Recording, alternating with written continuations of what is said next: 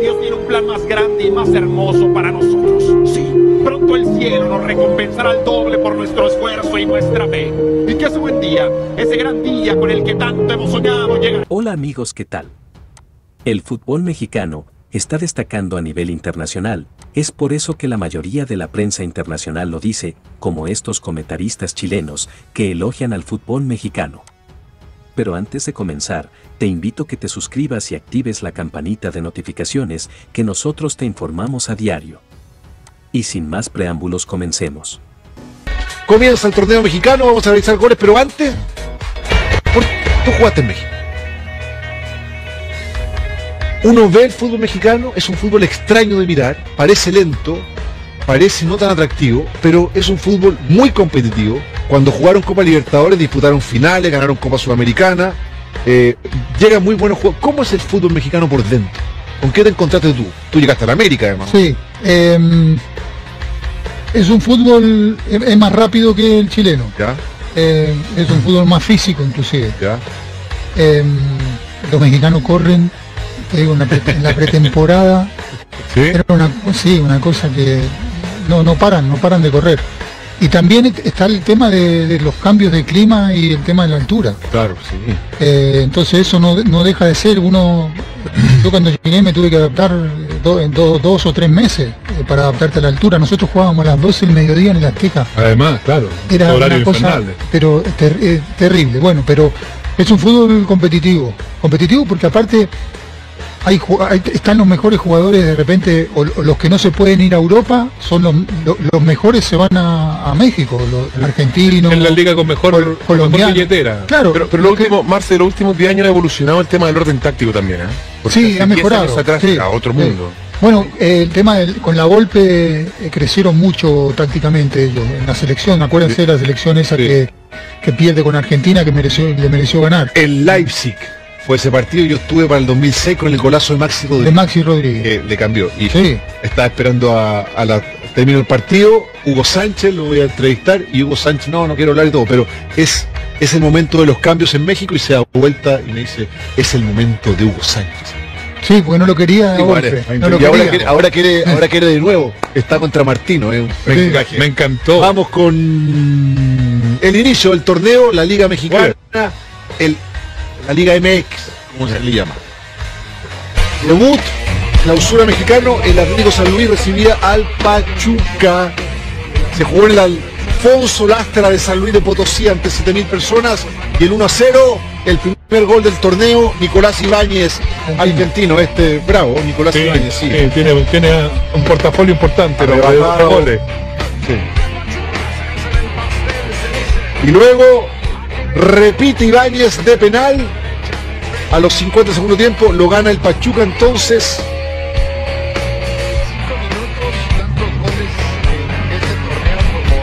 México.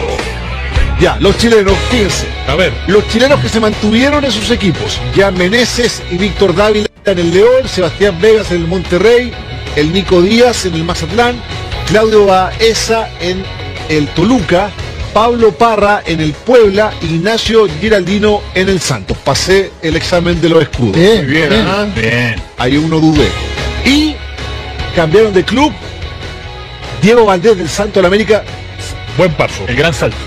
Muy bueno. Marcelo, tú jugaste en la América. 7 millones de dólares. Mar-.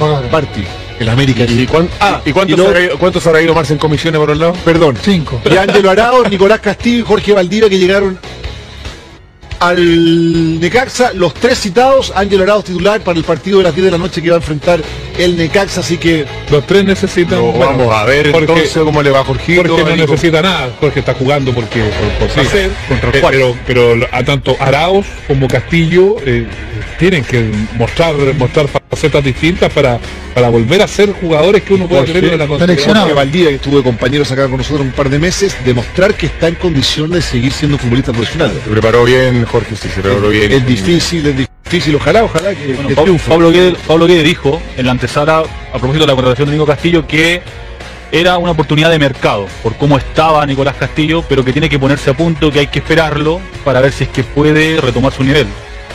A prueba, pero que- lo que- citan al tiro. Lo que que Nico que fue está bien. muy trágico, o sea, No, fue terrible. le ha Hasta que, muchísimo. que haya vuelto a jugar, yo creo que ya es un, Un logro, un un milagro. Y un milagro, porque médicamente por el momento parecía como En algún momento se le dijo que era imposible. Siete palos verdes por Valdés para que se vaya a la América. Llega un club extraordinario. Es otro mundo. Jugaste en el América. Cuéntanos un poco. Eh, 12 millones nos dicen 12. desde la producción. 12 palos verdes.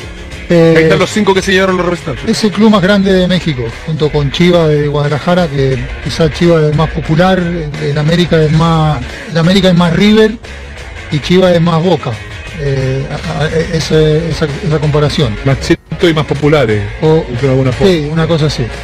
Y es un club que tiene todo, tiene todo, le dan todas las comunidades. Y ser el 10 de la América es una celebridad. Sí, va a tener, va a tener muchísima presión, le van a exigir, allá el mexicano le exige mucho al extranjero, mucho. Está bien, como tiene que ser. Para eso lo llevan lo que lo que Ojalá que le vaya bien, que se consolide en el América y que sea aporta a la selección. Tiene pinta de titularidad o de pelearla al menos contra Argentina en Calama, acostumbrado a la altura, lo mismo que Baez, así que van a tener chance, lo más probable, algunos de estos chilenos que están en la región nacional allá en México. Pausa, viene el ojo de Pinilla.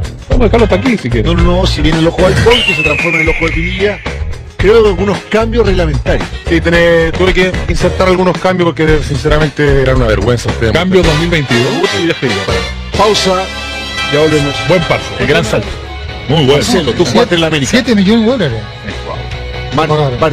El América. ¿Y, cuán- Ah, ¿y cuánto, y luego- se habrá ido, cuánto se habrá ido Marce en comisiones por un lado? Perdón. 5. Y Ángelo Araos, Nicolás Castillo y Jorge Valdivia que llegaron al Necaxa, los tres citados, Ángelo Araos titular para el partido de las 10 de la noche que va a enfrentar el Necaxa, así que Los tres necesitan. Lo bueno, vamos a ver Jorge- entonces cómo le va a Jorgito. Jorge no necesita nada, Jorge está jugando porque por, por Sí, contra Eh, pero, pero a tanto Araos como Castillo eh, tienen que mostrar mostrar facetas distintas para, para volver a ser jugadores que uno pueda creer en la seleccionado. Valdivia, que estuvo de compañeros acá con nosotros un par de meses, demostrar que está en condición de seguir siendo futbolista profesional. Se preparó bien, Jorge, sí, se preparó bien. Es difícil, es difícil, ojalá, ojalá que, Bueno, que Pablo. Pablo Guede, Pablo Guede dijo en la antesala, a propósito de la contratación de Nico Castillo, que era una oportunidad de mercado por cómo estaba Nicolás Castillo, pero que tiene que ponerse a punto, que hay que esperarlo. Dios tiene un plan más grande y más hermoso para nosotros. Pronto el cielo nos recompensará al doble por nuestro esfuerzo y nuestra fe.